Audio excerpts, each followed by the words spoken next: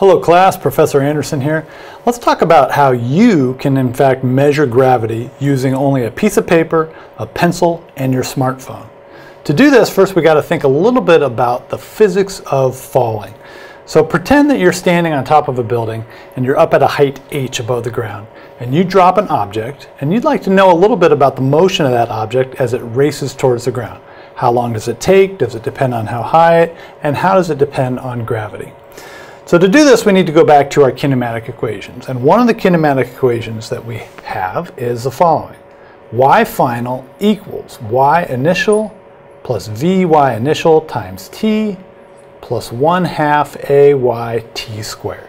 Right? This is a great equation to understand the position y as a function of time given these other variables.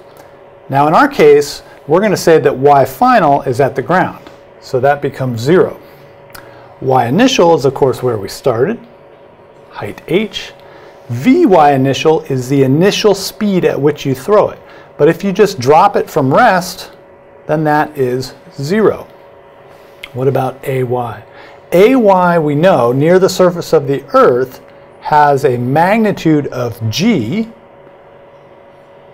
but it's in the negative direction. So we put a negative g right there. And that's going to be the thing that we want to measure. All right, we can simplify this equation quite a bit. We get 1 half gt squared equals h.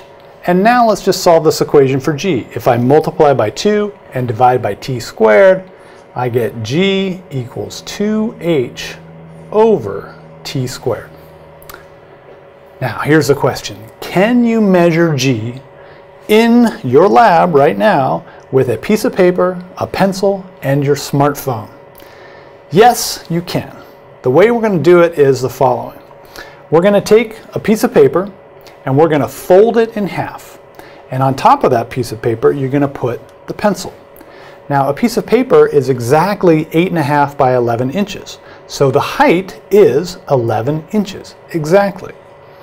The pencil is our object that we're going to drop, and we need to very carefully measure the time that it takes to drop from a height of 11 inches. So set up your smartphone, put it on slow motion mode, and now videotape somebody karate chopping the paper. This allows the pencil to start evenly at time zero and then fall uniformly towards the table.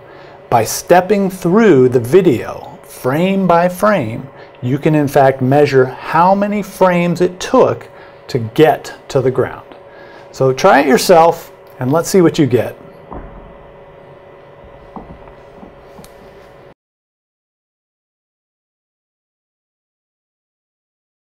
So when I tried this for my experiment, I got the following. The number of frames was equal to 57. And if I look at my smartphone, it tells me it is recording at 240 hertz, 240 frames per second. So that means each frame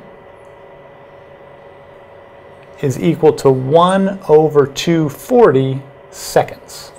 1 240th of a second. Okay? So this is going to allow me to calculate the time now, right? 57 times 1 over 240.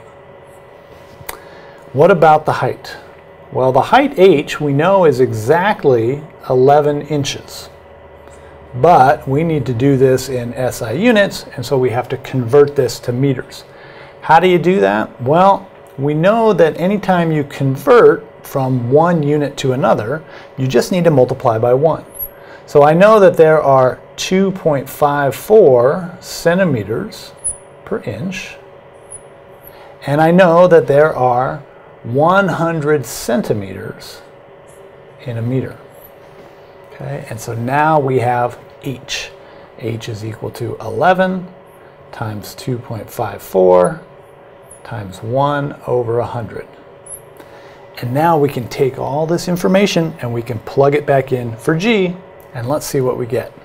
We get G is equal to 2 times 11 times 2.54 times 1 over 100. And then we're going to divide by t squared, which is 57 times 1 over 240.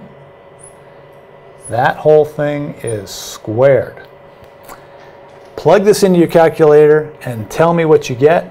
I tried it and I got 9.9. 9.9 in SI units, meters per second squared, which is really close to the exact number, which is, of course, 9.8. We're about 1% off, which is pretty good. But you can do something else here. You can also calculate your error bars. How do you do it? Well, as you step through that video, you notice that it's hard to tell one frame from the next.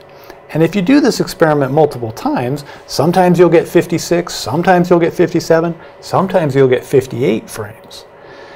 If I think about moving this number from 57 to 58, what do I calculate for G? If I go to 56, what do I calculate for G? Those are your error bars. And if you do it, you can double check. It's about an extra 0.3. So this should be your final answer. 9.9 plus minus 0.3 meters per second squared, which is really close to the actual value of G. All right, so you just did that. You did a measurement of G right there in front of you with a piece of paper, a pencil, and a smartphone. Congratulations. And if that's not clear, come see me in office hours. Cheers.